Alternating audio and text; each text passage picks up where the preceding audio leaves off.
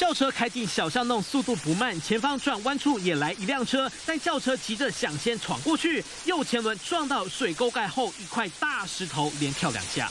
哎呦哎呦！轿车差点侧翻，但失控撞到旁边的车，钣金擦伤。肇事驾驶酒测值零点四零超标，可能因为喝酒的关系，注意力就比较差。然后他开的也蛮快的，路已经够小条，水沟盖上还有一块大石头，要怎么过？实际来到车祸地点，当地住户坦诚就是他放的，因为墙壁已经被撞倒三次，维修就花好几十万元。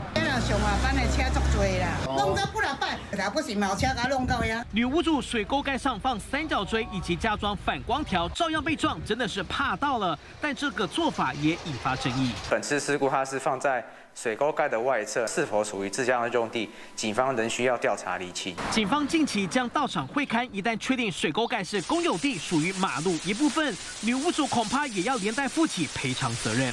记者张创、王书红平东报道。我们在收看摄影棚，全天候都是用水神，空间比较大，可以使用的是这组，是大概是八平左右。那么如果说空间比较小，两到三平左右，或在车上可以看到，这是一个比较迷你的水神雾化器，在车上用也是非常的方便，可以来到点购来买送水神，一举两得。